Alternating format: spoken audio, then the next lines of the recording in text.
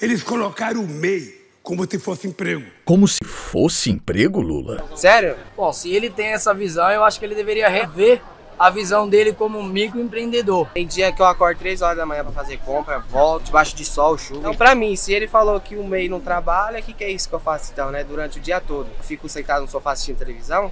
Ele deveria ficar calado para sempre, porque quando ele abre a boca, só fala besteira. O Lula falou que MEI não trabalha. 16 anos vendendo pano na rua. A glória de Deus. Também sustentando minha família aqui, ó. Eu sou MEI. Eles colocaram o MEI como se fosse emprego. Aí vem um cara desse, fez nada pra nós que é pobre aqui, pô. Ainda vem pra soltar uma sacanagem dessa aí. Pô. uma puta da brincadeira, mano. Você, MEI, microempreendedor individual. Ou seja, você que trabalha o dia todo Fique sabendo, da nossa parte, não haverá taxação de vocês. Antes do Lula eu ganhei dinheiro. Aí depois chegou o PT, deu uma zica, pago a minha dívida, honestamente, dou a minha correria, suando, entendeu? Eu sou manicure há cinco anos, fiquei indignada com o que o Lula falou, que quem é MEI não trabalha. Hoje é sábado, tô aqui trabalhando, fazendo a minha feijoada. PT no comando é retroceder. Eu gostaria de avisar o Lula que quem tem MEI trabalha, tá?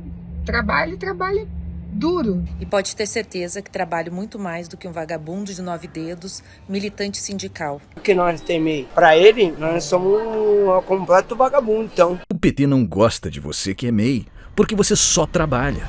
Você não paga taxa para sindicato. Tem que pagar o sindicato?